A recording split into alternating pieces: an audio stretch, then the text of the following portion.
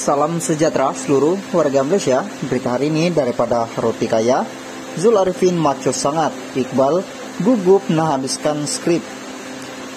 Selepas bergelar penyanyi rezeki usahawan, Iqbal Zulkifli semakin mencuras-curas apabila ditawar sebagai pelakon pula.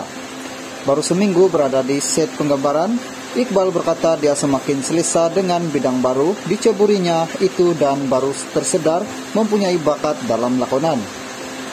Selepas beberapa hari di set penggambaran, saya sedar sebenarnya ada bakat untuk berlakon. Hari pertama syuting saya hampir putus asa karena merasakan proses penggambaran jadi lambat disebabkan saya masih baru belajar. Selepas beberapa hari, sudah mula rasa seronok dan saya sedar rupa-rupanya saya boleh berlakon katanya. Promosikan pengalaman apabila terjun dalam bidang lakonan, Iqbal berkata dia semakin terbuka dan senang bergaul dengan orang ramai. Ketika awal digandingkan dengan Zul, saya memang gemetar. Dia maco sangat dan membuatkan saya tidak yakin untuk menghabiskan skrip. Berlakon tidak sama seperti dunia perniagaan.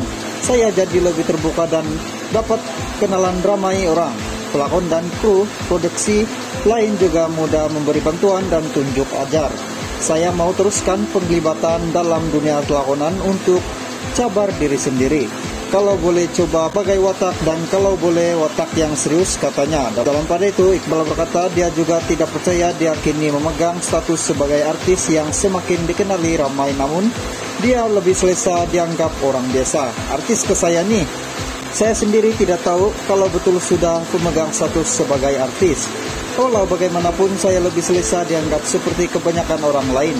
Saya manusia biasa saja Dipahamkan Iqbal bakal muncul dalam drama 30 episode berjudul Perempuan Itu yang turut menampilkan pelakon Zul Arifin dan Mia Lana. Sekian berita ini, sekian terima kasih.